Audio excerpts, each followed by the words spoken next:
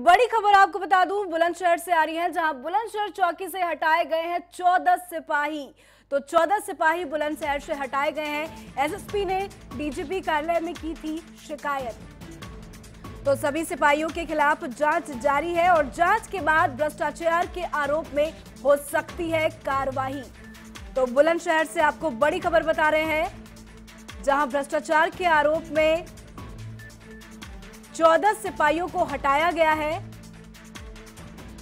SSP ने DGP कार्यालय में की थी शिकायत और शिकायत के बाद से चौदह सिपाहियों को हटाया गया है। अब उनके लिए कार्रवाई की जाएगी। जाँच के बाद भ्रष्टाचार का आरोप लगा था और हो सकती है एक बड़ी कार्रवाई बुलंदशहर के चौकी से हटाए गए हैं चौदह सिपाही। और इस खबर पे ज़्यादा जानकारी के साथ हमारे साथ फ़ोन लाइन पे हमारे संवाददाता समीर अली जुड़े हुए हैं। समीर आपसे जानना चाहेंगे कि 14 सिपाहियों को हटाया गया है। क्या ताज़ा अपडेट मिल रही है?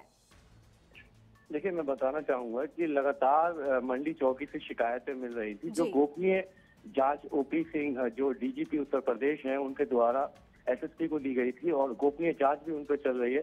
जिस तरह से अभी फ़िलहाल उनको हटाया गया है लेकिन इससे ये साफ़ नहीं होता है कि उनमें जो गिरज गिरने वाली है वो हट गई है। लगातार जाँच जारी है और जिस तरह से जाँच में निकल के आएगा उनके ऊपर एफआईआर होकर कार्रवाई की जाएगी। जी तो लगातार शिकायतें हो रही थी तो शिकायत क्या भ्रष्टाचार के खिलाफ है?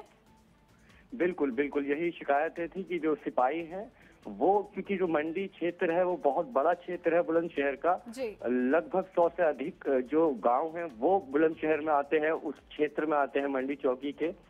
और वही शिकायत मिल रही थी कि जो सिपाही हैं, वो कहीं ना कहीं भ्रष्टाचार करके पूरी ही चौकी को बदनाम कर रहे हैं और कहीं ना कहीं बुलंदशहर पुलिस की भी छवि खराब कर रहे हैं।